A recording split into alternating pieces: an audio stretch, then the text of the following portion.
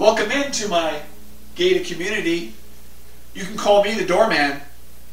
And here, I'd like to share with you some of the stories of how some of our, let's say, guests ended up here. Tonight's story is about the pizza bomber. It's a lot of moving parts, and I want to share with you the major players and the timeline of events here. Check this out.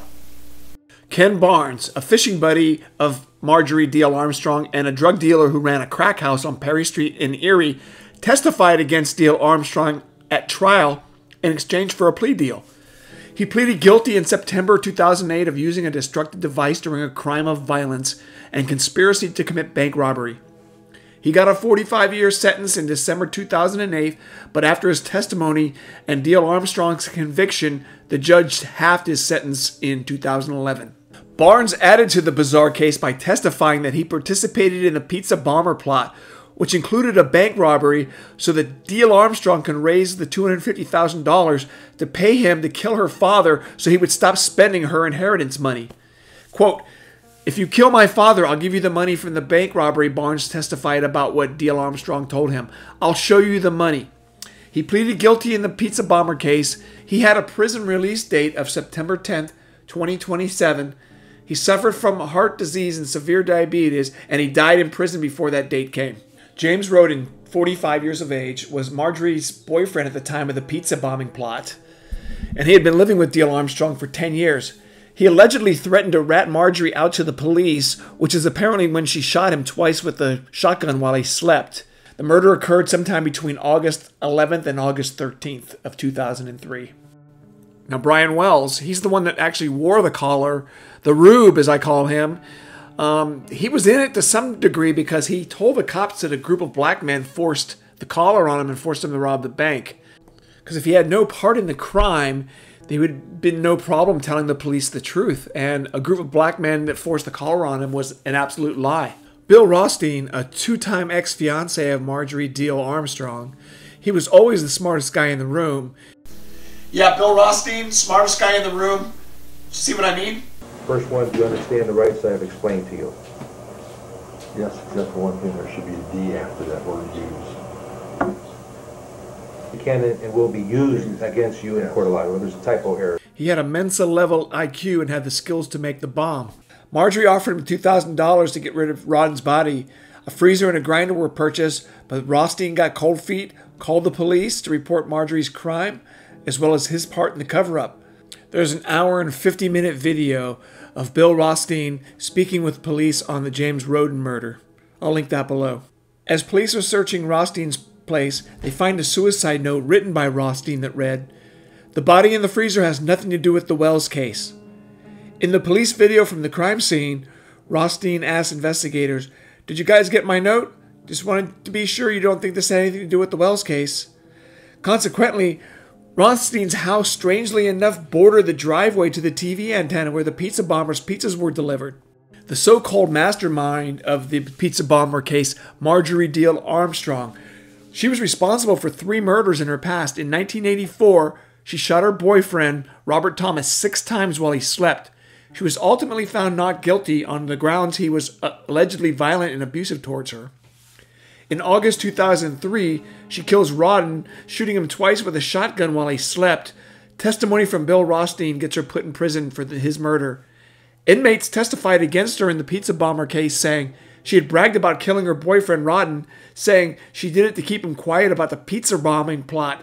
It took eight police officers a whopping four days to get rid of the mess she collected, and they filled up six dumpsters with trash.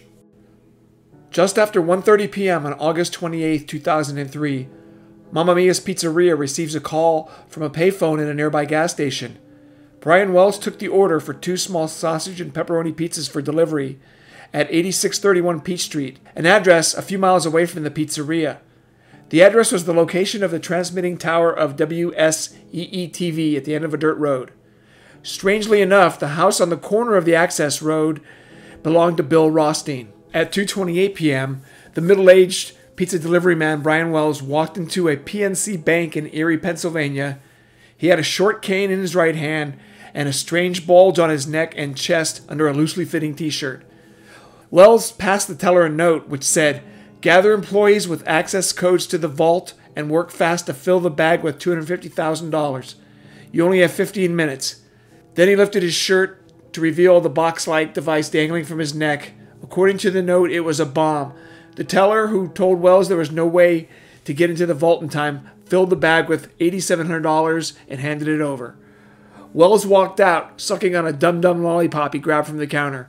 Police catch up with Wells as he was not far from the bank. They searched his car and found the letters with the scavenger hunt clues.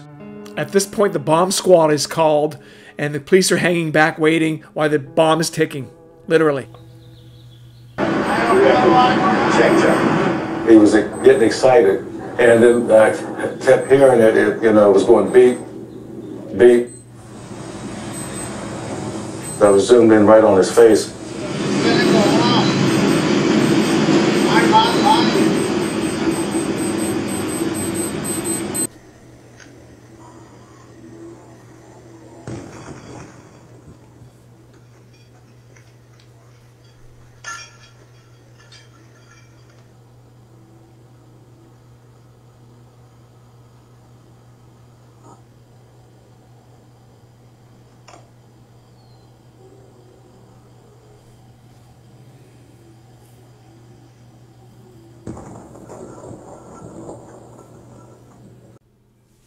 The bomb ripped a five inch gash in his chest and he was killed immediately. The bomb squad had arrived three minutes after the bomb goes off. Police scour the eight page scavenger hunt list that Brian Wells was told to follow if he wanted to live. Now, the police said they followed this list and the next clue was missing, but they also said that if he had made all the clues and did everything right, the bomb still would have went off. So my thought is, how were they supposed to get their money back if the bomb was going to go off with Brian anyways? Say they got the two hundred fifty thousand from the bank, he would have blown up anyways.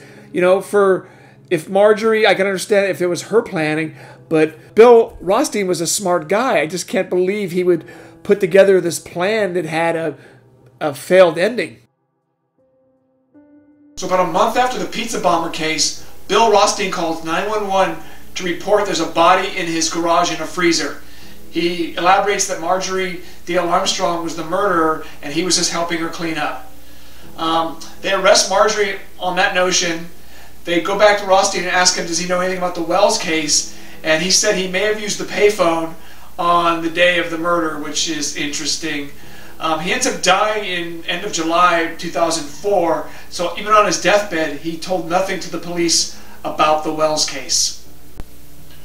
With Rothstein and Wells both dead, the police played Diehl Armstrong and Barnes against each other, and they got Barnes to admit that Diehl Armstrong wanted the whole thing done so she could pay Barnes to kill her father, who she thought was spending all of her inheritance money. Strange, strange case. Well, thanks for watching. We'll see you next Visitor's Day. I am the doorman, and don't let me catch you in my gated community.